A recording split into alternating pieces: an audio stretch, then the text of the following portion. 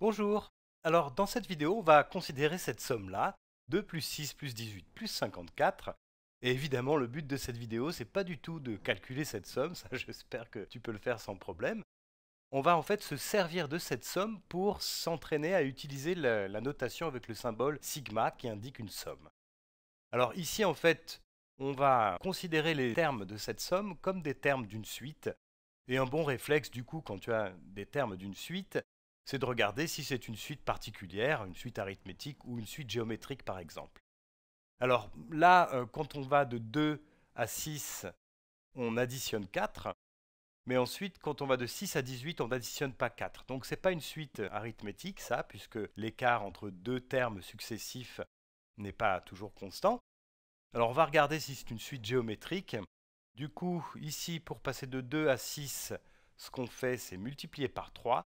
Pour passer de 6 à 18, on multiplie par 3 aussi, donc ça, en fait, je vais le noter. Pour passer de 2 à 6, on multiplie par 3. Pour passer de 6 à 18, on multiplie aussi par 3. Et ensuite, pour passer de 18 à 54, on multiplie par 3 aussi. Hein. Tu peux regarder ça comme ça. 18 fois 3, on peut l'écrire comme ça, c'est 9 fois 3 fois 2. Donc 9 fois 6, donc ça fait bien 54. Voilà, donc en fait, il s'agit des termes d'une suite géométrique de raisons que je vais appeler Q égale à 3. Alors maintenant qu'on sait ça, je vais écrire cette somme en utilisant le symbole de somme qui est le symbole que tu connais, sigma. C'est la lettre grecque sigma capitale.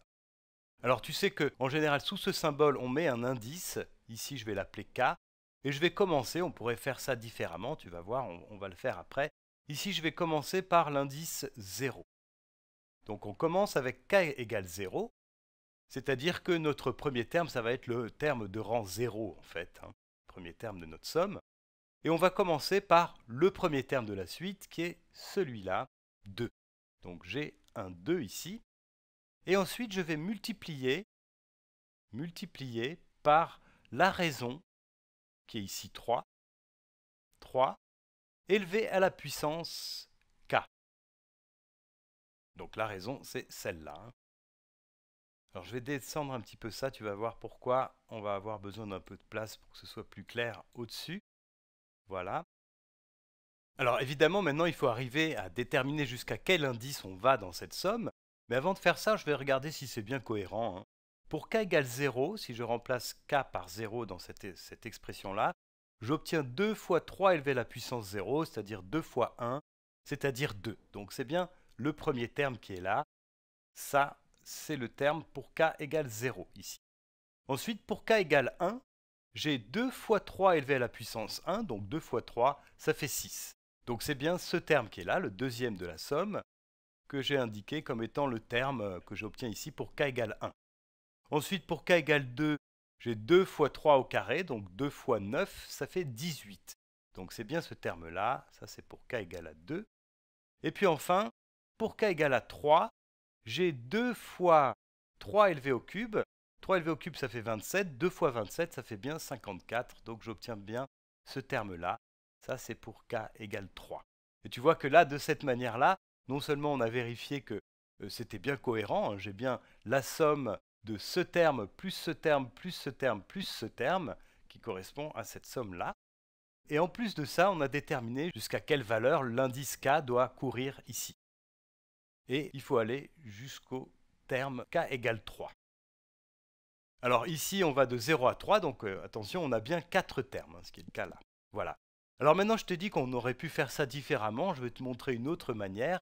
Je vais réécrire mon symbole de somme, sigma, et cette fois-ci, pour voir ce que ça change, je vais changer d'indice. Hein. Je vais prendre un autre indice, n, que je vais faire commencer à 1.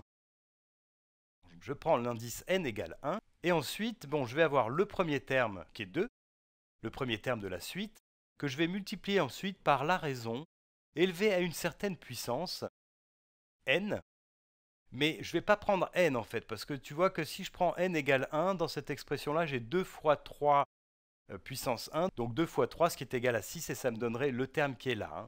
Donc en fait, Pour ne pas oublier le premier terme, je vais diminuer l'exposant de une unité. Alors, je vais regarder si ça correspond. Pour n égale 1, j'ai 2 fois 3 élevé à la puissance 1 moins 1, donc en fait ça fait bien 2. Donc ici, c'est pour n égale 1.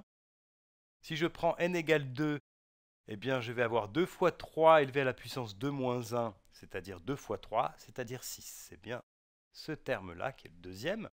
Ensuite, pour n égale 3, je vais avoir 2 fois 3 élevé à la puissance 3 moins 1, c'est-à-dire 3 au carré, c'est-à-dire 2 fois 9, ça fait bien 18. Donc on obtient bien ce terme-là pour n égale 3. Et puis enfin, pour n égale 4, j'obtiens 2 fois 3 élevé à la puissance 3, c'est-à-dire 2 fois 27, c'est-à-dire 54. Donc ce terme-là, c'est bien celui que j'obtiens pour n égale 4. Donc tu vois que dans ce cas-là, si j'ai choisi cet indice-là, qui part de 1, qui commence à 1, eh bien la somme doit aller jusqu'à l'indice n égale 4. Hein. Et puis ce qu'il faut remarquer aussi évidemment, c'est que on a diminué l'exposant ici de une unité puisqu'on commence à 1. Donc en tout, on a en fait 4 termes ici, de 1 à 4, il y a quand même 4 termes, et c'est uniquement l'indice qui change. Et ces deux expressions-là sont identiques, hein, représentent exactement cette somme-là toutes les deux, et en fait, c'est juste une question de où est-ce qu'on fait commencer l'indice.